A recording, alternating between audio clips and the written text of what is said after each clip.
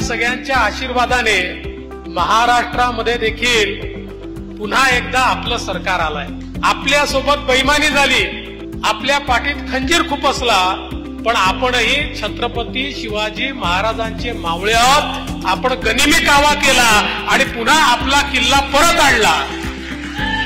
ज्यांनी बैमानी केली होती त्यांना बाजूला ठेवलं आणि जे वैचारिक मित्र होते त्यांना सोबत घेतलं आणि पुन्हा एकदा शिवसेना भाजपचं सरकार शिंदे साहेबांच्या नेतृत्वात आणलं. नागपूर शहरामध्ये आपली सीपीएसपी जे ऑफिस तयार केलं आहे हे देखील मला असं वाटतं की देशात कुठे नसेल अशा प्रकारचं ऑफिस आहे. अनेक ठिकाणी तर डीजी ऑफिस देखील तेवढे चांगले नसतात. आणि हे सगळं करत असताना शेवटी या जागा लोकांना सेवा देण्याच्या जागा. तिथे गेल्यानंतर लोकांना आश्वस्त वाटलं पाहिजे. पोलीस स्टेशनमध्ये गेल्यानंतर लोक जर घाबरले तर लोकांना न्याय आपण देऊ शकणार त्यामुळे तिथे गेल्यानंतर आपण सरकारच्या न्याय देणाऱ्या विभागात आलो आहोत.